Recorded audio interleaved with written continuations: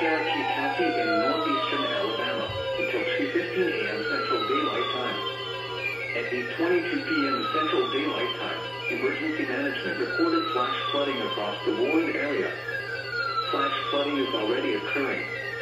Hazard: life-threatening flash flooding. Heavy rain producing flash flooding. Source: Emergency Management reported. Impact: Life-threatening flash flooding on creeks and streams, urban areas, Some locations that will experience flash flooding include Cedar Bluff, Gaylesville, Cornwall Furnace Park, Eastern Weiss Lake, and Sullivan. Turn around. Don't drown when encountering flooded roads. Most flood deaths occur in vehicles. Be especially cautious at night when it is harder to recognize the dangers of flooding. Flooding is occurring or is imminent. It is important to know where you are relative to streams,